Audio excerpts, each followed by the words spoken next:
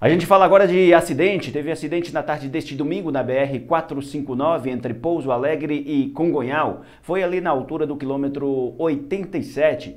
Uma motocicleta bateu em um carro SUV. Um casal estava na moto, um homem de 41 anos e uma mulher de 27 anos.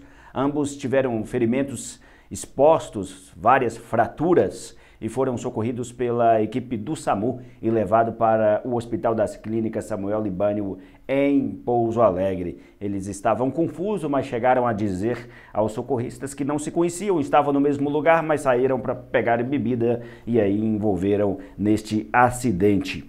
O carro aí, o veículo, o SUV, placas de Campinas, né, ninguém ficou ferido, apesar do estrago feito aí na porta pelo lado do motorista, acidente ocorrido na tarde deste domingo. A matéria em mais detalhes está aí no nosso site terradomandu.com.br.